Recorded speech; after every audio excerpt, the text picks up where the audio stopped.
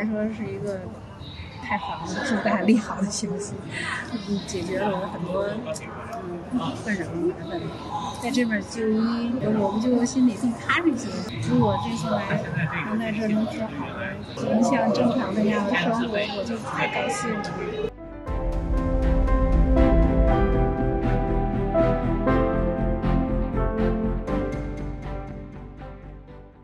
开展工伤保险跨省异地就医直接结算试点工作，是党中央、国务院的一项惠民举措，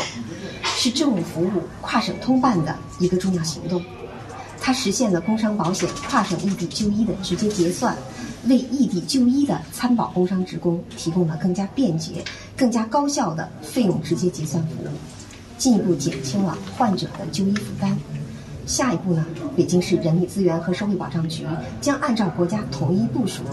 把工伤保险跨省异地就医直接结算试点工作作为重要任务，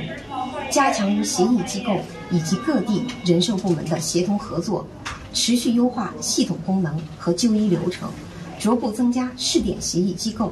不断提高工伤职工异地就医的满意度和获得感。